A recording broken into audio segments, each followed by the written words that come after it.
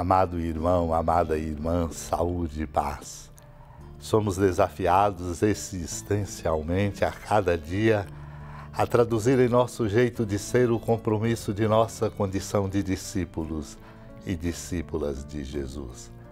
Nosso grande testemunho missionário é proclamar por gestos e palavras o que vimos e ouvimos de nosso Mestre e Senhor Jesus Cristo.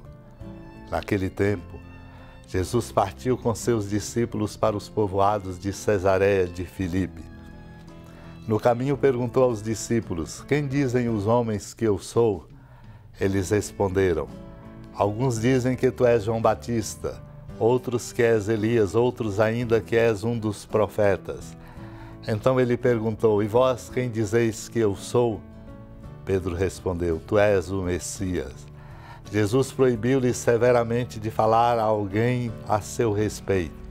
Em seguida, começou a ensiná-los, dizendo que o filho do homem devia sofrer muito, ser rejeitado pelos anciãos, pelos sumos sacerdotes e doutores da lei, devia ser morto e ressuscitar depois de três dias.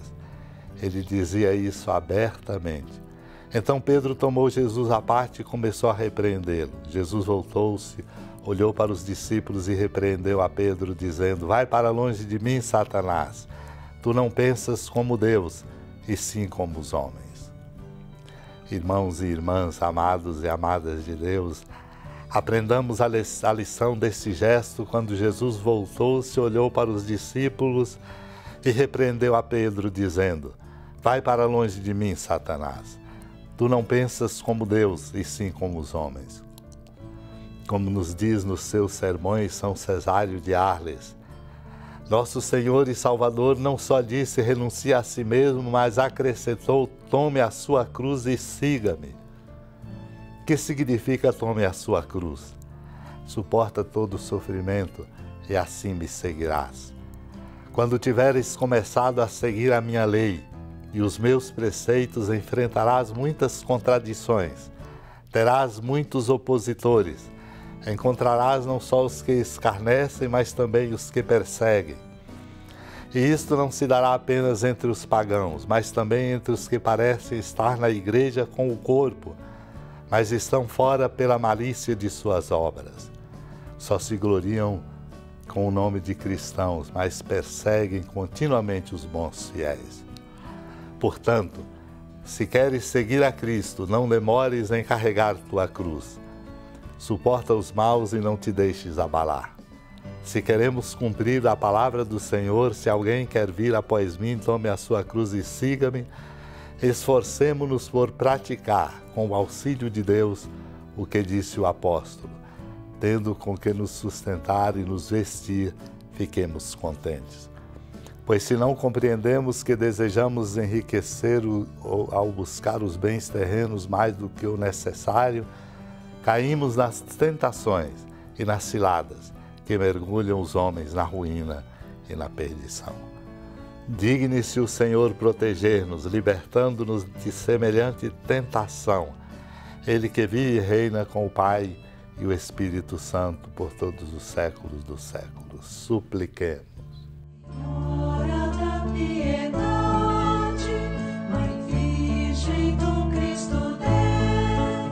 Lembrai-vos, ó piedosíssima Virgem Maria, que nunca se ouviu dizer que alguém daqueles que, tendo recorrido à vossa proteção, implorado a vossa assistência e reclamado o vosso socorro, tenha sido por vós desamparado. Animado com igual confiança, a vós recorro, ó Virgem das Virgens, e gemendo sob o peso dos meus pecados, me prostro a vossos pés.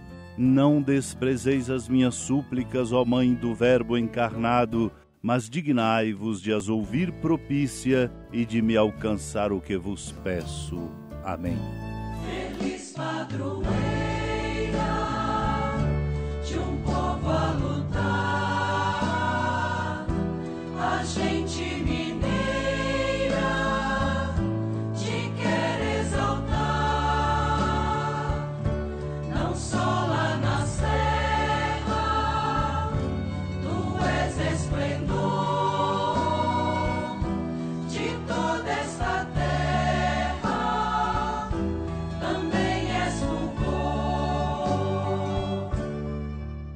Amado irmão, amada irmã, com alegria, do Santuário Basílica da Padroeira do Estado de Minas Gerais, a Senhora da Piedade, que da sua casa de clemência e bondade nos acompanhe e nos abençoa do alto da serra, magnífica arquitetura divina, a bênção de Deus, amor misericordioso.